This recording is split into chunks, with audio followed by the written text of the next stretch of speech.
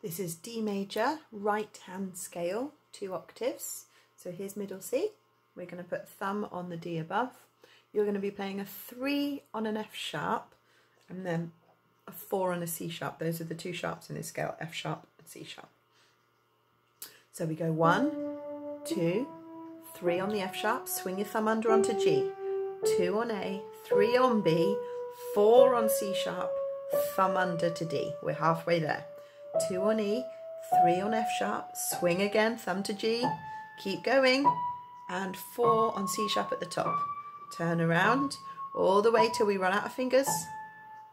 Three over onto F sharp, then four onto C sharp, three on B, three on F sharp. Okay, going out up without talking.